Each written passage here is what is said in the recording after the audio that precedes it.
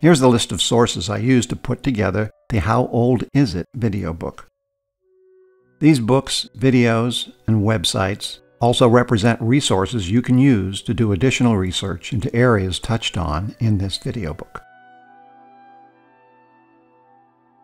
I used the YouTube Stanford University Cosmological Lectures 1 through 10 by Leonard Susskind extensively.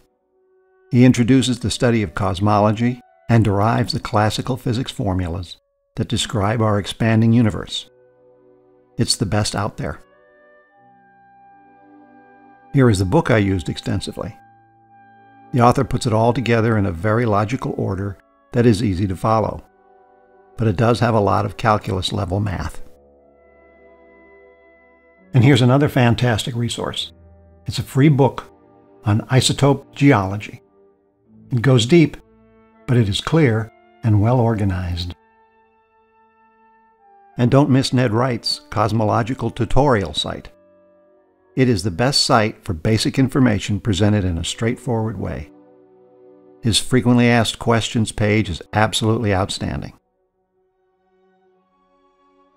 And don't forget, every video segment has a document with the text, links, music, pictures, and notes located on howfarawayisit.com slash documents. The following identifies all of my sources. Thanks for watching.